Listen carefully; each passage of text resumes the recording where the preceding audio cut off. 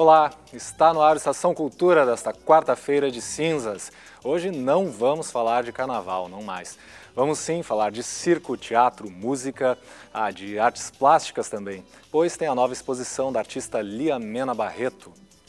E para começar, quarta-feira, dia de Paulo Moreira, aqui no programa. Olá, Paulo. Tudo bem? Tudo certo. Como é estamos? Maravilha. Como foi de folia? Ah, folia, folia bem quietinha, bem, bem na manha. né? Legal. Trouxeste o disco do Gustavo Teles hoje. Gustavo Teles hoje, para a gente falar do Prego.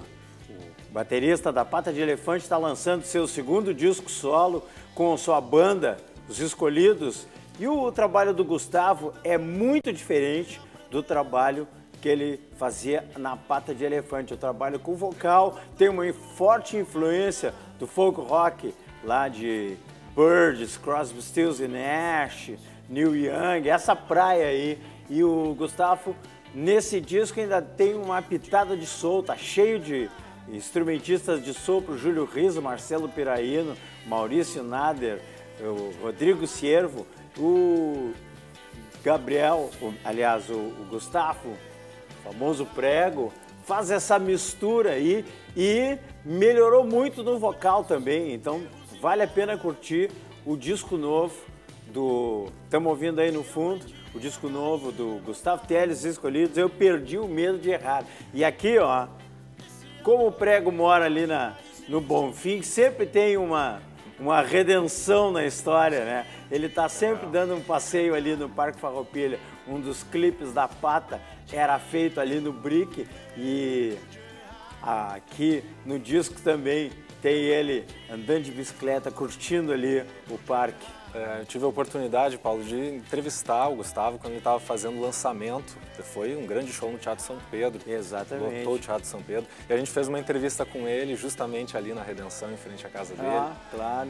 Ele comentou, o que me surpreendeu é que, é, né, falando do, do processo de composição, ele disse que é, influencia muito ele grandes nomes do samba, como Noel Rosa. Ele disse que para ele, pela palavra, talvez não tanto pela sonoridade, Sim. mas pela palavra, pela poesia, muitos do samba. Talvez em algum momento a gente, né, a gente possa identificar essa influência. Exatamente. É, as letras são bem, bem assim, estilo. Ah, eu perdi o medo de errar, o sangue não vai nos afastar, assim, uma coisa bem dramática, assim, bem. Mas aí. é bem intenso, vale, vale a pena conferir. Eu perdi o medo de errar, o disco novo do Gustavo Teles e os Escolhidos, o famoso prego ex-batera da Pata de Elefante. Aliás, eu já comentei aqui, né? Saiu o disco, a banda terminou, mas saiu o disco que eles fizeram junto com o Júlio Riso e que tá muito bom também, vale a pena você ir atrás e conferir. Legal. Hoje à noite no Sessão Jazz na FM Cultura. Que teremos? Hoje, Estação Jazz, a quarta temática, nós vamos mostrar dois songbooks. O songbook do Cole Porter e o songbook do Harold Arlen na voz da fantástica Ella Fitzgerald. Então não dá para perder, hein? Hoje à noite, 8 da noite, 107,7 FM Cultura, sessão jazz com Ella Fitzgerald cantando Cole Porter e Harold Arlen. Legal. Obrigado pela Isso tua aí. participação aqui, Paulo. Até a próxima. Até a próxima. Valeu. Bom, o assunto agora é artes plásticas. Como eu disse, nós vamos conferir a nova exposição individual de Lia Mena Barreto. Os objetos fundidos, que é característico do trabalho dela, agora adornam peças em tecido. Vamos ver.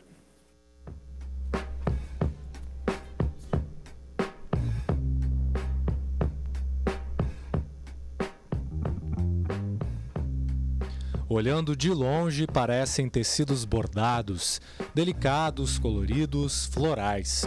De perto, objetos de plástico fundidos, de criaturas que causam um certo estranhamento.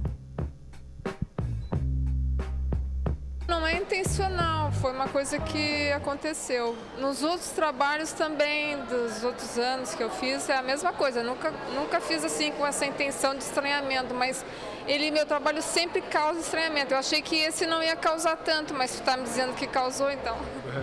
Em nova fase, Lia Mena Barreto apresenta 10 trabalhos em caixa de acrílico e um vestido, modelado pela estilista paulista Fernanda Yamamoto.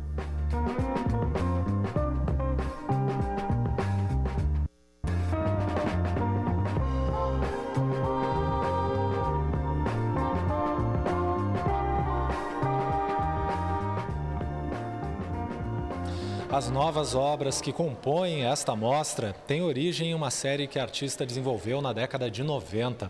Uma peça daquela época é esta aqui. Com trabalhos como este, Lia Mena Barreto participou de exposições importantes que colocaram seu nome no cenário internacional. Essa ideia de bordados eu tenho há muito tempo já, só que ela só vingou agora, em 2013, né? Mas eu já vinha fazendo uh, trabalhos com essa mesma técnica desde os anos 90.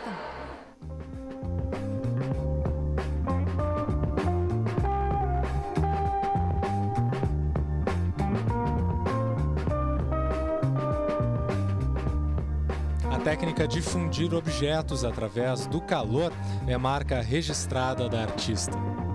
A Lia parou uns anos, uh, lá trabalhou com a gente já há muitos anos, parou de produzir e parece que essa exposição foi uh, fruto desse tempo que estava parado dentro dela. Assim, acho que foi um amadurecimento, uma exposição linda. Acho que vem consolidar a expectativa que a gente teria numa artista depois de voltar depois de alguns anos. Acho que todo mundo está vendo esse trabalho, recebendo com, com muita, muito apreço. Um trabalho lindo, realmente espetacular. Talvez uh, dos melhores que ela já fez.